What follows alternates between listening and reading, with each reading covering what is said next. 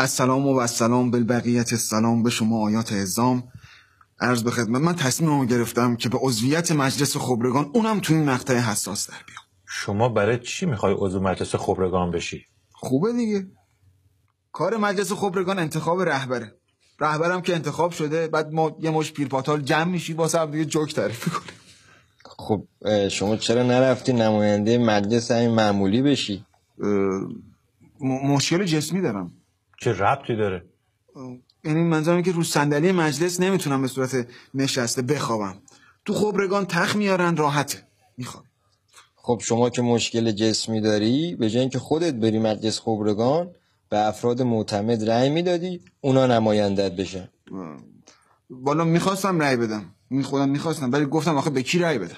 به پسرخاله مقام معظم رهبری صادق باعزاده رأی بدم به پدر عروس مقام معظم رهبری حداد عادل رأی بدم به آقای کمال خرازی برادر عروس مقام عظما رأی بدم یا به پسر باجناقشون محمد باقر قالیباف رأی بدم یا راه این بود که اصلا تو مسائل خانوادگی ولایت وارد نشه. نظام مال خودشونه. هر غلطی خواستم بکنم این بود که گفتم خب ما هم بیایم کاندید شیم. فامیل شیم. خب حالا یه چند تا سوال علمی ازتون بکنیم. مدرک تحصیلی شما چیه مال شما چیه؟ لیسانس بعد مال شما چیه؟ من فوق لیسانس دارم آه. منم شوق لیسانس دارم شما بفرمایید برق و کی اختراع کرد اه، بر... اه، تو که ز... مقام مزمای ولایت درسته؟ والا اگه برامون شهر درست نمی کنید ادیسون هم یه کمکایی کرد بهشون آیت الله ادیسون اون که برق اختراع نکرد که اون جاذبه رو کشف کرد. نه اون که نیوتون بود سیب افتاد رو سرش. آیت الله نیوتن ای فتنگر ای فتنگر تمام فتنه این درس فیزیک زیر سر اونه. ای کاش ای کاش به جای سیب درخت میافتاد روش علما اینقدر فیزیک صفر نمی‌گرفتن. خب ما علمی تو فهمیدیم. تو حوزه فرهنگی چه فعالیتایی داشتی شما؟ والا بنده اصلی ترین دستاورد فرهنگیم که تقدیم کردم به مقام معظم رهبری تصحیح یه شعر زاله بود که نمی‌دونم یادتون میاد یا نه تو سن سال شما بود یا نه ولی می‌گفت که اتل متل توتوله گاو حسن چه جوره؟ برگشتم خواهش می‌کنم اگه اجازه بدید من نخونم چون واقعا هر دفعه می‌خونم مثلا شوک میشم بدنم میلرزه. بنده این شعر رو حرام اعلام کردم. چرا؟ یک استفاده از کلمات زشت. صادر کردن شیر به هند در نقطه مقابل اقتصاد مقاومتی. ترویج بدهجابی اونم در شرایط پسا برجام. بنده خودم در همین موقعیت رأسا وارد شدم شعر رو اصلاح کردم. به این صورت که میگه اتل متل ولایت گاو حسن فدایت دور عباش توریه شیرشو بردن سوریه. یه شیخ ریشو بستان از حزب الله لبنان. اسشو بذار قرازه چون که ریشش درازه. احسنت احسنت. تایی والا من خودم اینو در اینستاگرام و تلگرام شخصی هم گذاشتم که می‌تونید شما خودتون مراجعه کنید. اه، پس شما با این فناوری هم آشنایی داری؟ بله بله. اینستاگرام و تلگرام خواهر برادرن خیلی هم همدیگه رو دوست دارن. میمیرن واسه همدیگه شما کجا فهمیدی که اینا خواهر برادرن؟ از ف... فامیلیشون دیگه. گرام. اینستاگرام تلگرام. فامیلی جفتشون گرامه. یکی هم من جدیدن شنیدم نمی‌دونم شما دیدین یا نه. تو تلویزیون جدیدن میگن. بینندگان گرام. که اینم احتمالا از اقوام نسبیشونه. حالا به نظر شما بعد از تحولات منطقه به سردمداری عربستان نظام جمهوری اسلامی چه واکنشی باید نشون بده؟ واکنش شدید شدید. مشخصا من پیشنهادم اینه که درس عربی در اعتراض به عربستان حذف بشه. ریاضی هم باید حذف بشه. چون میدون پایتخت عربستان ریاضه.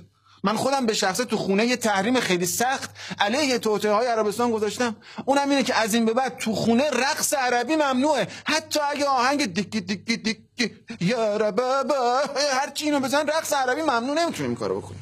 تو پرونده شما اومده که شما نماز نمی‌خونید درسته؟ بله. بله. اینم به خاطر بصیرتمه. چون قبله اولمون که دست اون دشمنامونه. قبله دوممون هم که دست این دشمنای جدیدمون افتاده. دیگه الان کاملا مشخصه دیگه. معلوم قسمت نیست ما نماز بخونیم. شما دقت بفرمایید. از تحریم غرب در اومدیم حالا جهان اسلام تحریممون می‌کنه. دیگه این نماز داره؟ نداره. پس شما در رابطه با تحریم هم موضع داری. بله که داره بله. من در تمام دوران تحریم یک بار فقط یک بار جوراب خارجی پوشیدم. تمام روز احساس می‌کردم که کف پام تو قربته سری درش آوردم. ما سال دفاع مقدس نداشتیم که بریم جوراب خارجی بپوشیم. اما خیلی شرایط فرق کرده. چه فرقی کرده؟ خیلی فرق کرده. شما دقیقا قدیما تلویزیون رو روشن می‌کردی می‌گفت خورم شهر آزاد شد. سوسنگرد آزاد شد. الان جرأت نمی‌کنه تلویزیون رو روشن کنه. تا روشن می‌کنه میگه نون آزاد شد. بنزین آزاد شد. برق آزاد شد. بلیط هواپیما آزاد شد. اسرای قایق آمریکایی آزاد شد. حالا شما فکر می‌کنید چرا من باید صلاحیت شما رو برای ورود به مجلس خبرگان تایید کنم؟ من به نظر کردم من صلاحیتم از آسمان ها تایید شده. چطور؟ در, در همین راهپیمایی 22 بهمن. من سراسر تعجب و شگفتی بودم. هزاران هزار شرکت کننده صدها شخصیت لشکری و کشوری صدها نفر از نیروی انتظامی دهها وزیر و نماینده مجلس چندین خبرنگار و عکاس. واقعا عجیب بود. چیش عجیب بود؟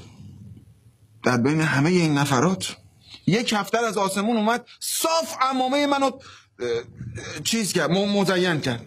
اونجا فهمیدم که من انتخاب شدم از آسمان ها نرحب بکم حضرت آیت الله این همون نقطه اوج کمالات شماست که صلاحیت شما رو برای ورود به مجلس خبرگان ثابت می‌کنه. دست شما در نکنید والله دستون در نکنید دست بدیم ما. مقام عظما انقدی نیدی دیگه مجلس خبرگان Wow, wow, wow, wow, wow, wow, wow, wow.